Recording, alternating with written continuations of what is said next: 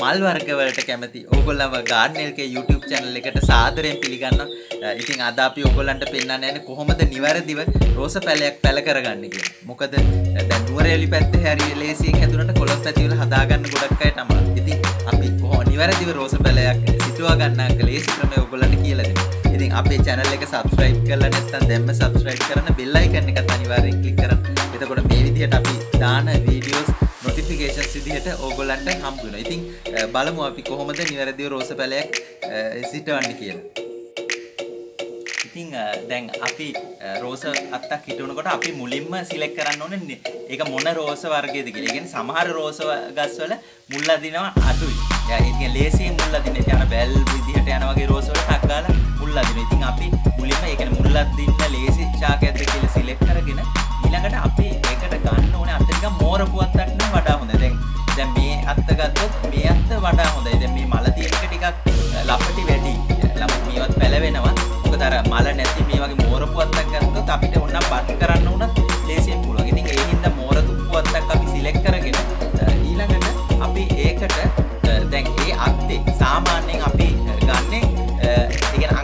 6ක් විතර දිග කොටස දැන් මෙහෙම අපේ අතේ මේ මේ ප්‍රමාණයක් වගේ කියන්නේ මේ අඟල් 6ක් විතර දිග කොටසක් තමයි ගන්න. ඊට පස්සේ මේ රෝසා අත්තේ යට දැන් මේ පුරුකකට යටින් අපි හරස් කැපුමක් කපා ගන්නවා. හොඳ ෂාප් දෙයකින් ඒ කියන්නේ මේ මේ අත්තක් ඒ කියන්නේ මෙතන මේ පැලේ ඒ කියන්නේ මේ කොලයක් එන තැනකින් ඊට සෙන්ටිමීටර් භාගයක් විතර පාලෙන් මෙහෙම ඒ කියන්නේ හරස් කෙලින් කැපුමක් යොදා ගන්නවා. ඊට අමතරව ඊළඟට දැන් අපේ මෙතන අඟල් 6ක් විතර දුරින් මේ වගේ ප්‍රමාණින් හරහට මෙන්න මේ වගේ හරස් කැපුමක් තමයි අපි භාවිතා කරන්නේ. ඒ කියන්නේ අපි උඩට ගන්න කැපුම මෙහෙම හරස් අතටත් යටින් කැපුම කෙලින් අතටත් තමයි අපි ගන්න රෝස අත්ත මුල් අද්දනකොට. එතකොට මොකද එහෙම යටින් හරස් කැපුමක් ගන්න ඒ ඒ වටේ වුණත් එතකොට මුල් එන්න ලේසි. දැන් උඩ හරස් උඩින් මෙහෙම ස්ලොප් එක වෙන විදිහට කැපුවාම අර වතුර වුණත් ඒ කියන්නේ දිලීර වුණත් ලේසියෙන් එන්නේ නැති වෙන්න මේ පහලට එනවා. ඉතින් ඊට ඊට අමතරව අපි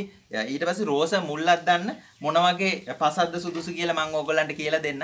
රෝස වලට ගොඩක් අර රතු පස් වල තමයි හොඳට හැදෙන්නේ.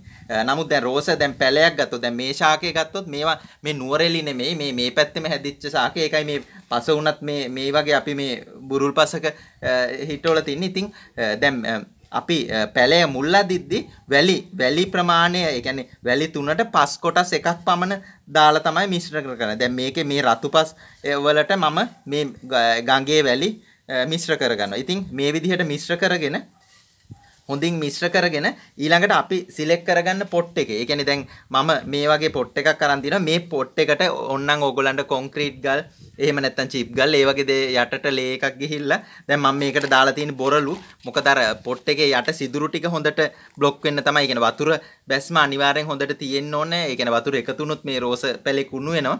ඒ හින්දා තමයි මේ විදිහට අපි දාලා තියෙන්නේ. ඊළඟට අපි මේ අපි සාදාගත් මාධ්‍ය මේ පොට් එකට ෆිල් කරගන්නවා. අපි මේ විදිහට ෆිල් කරලා පොට් එකේ සාමාන්‍යයෙන් උඩ අඟලක් විතර ඉතුරු වෙන්න තියෙද්දි මේ විදිහට හොඳින් ෆිල් කරගන්න.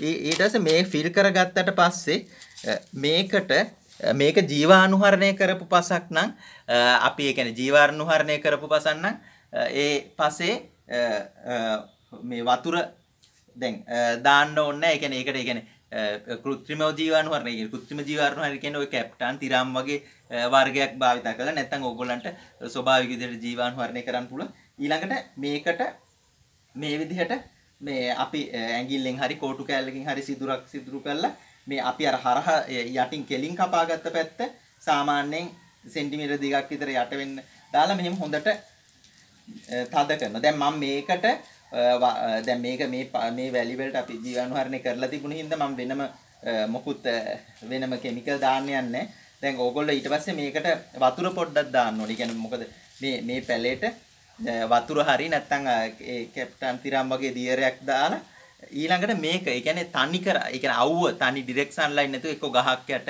ඒ කියන්නේ නැත්නම් ඔය දැන් සාමාන්‍යයෙන් ඔය කාමරයක් ඇතුළේ ජනෙල් ඇරලා තිබ්බහම එළියෙන්නේ. අන්න ඒ වගේ පරිසරයක මේක වහලා තියන්න ඕනේ.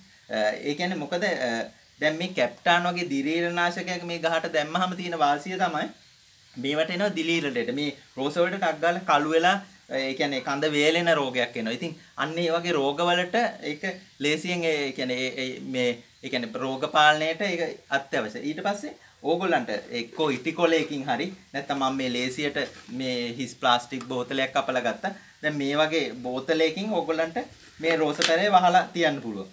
එතකොට අර අවට හුලං ඒ කියන්නේ අවට පරිසරයේ හුලං විෂ බීජ ඇතුළට යන්නෙත් නැහැ.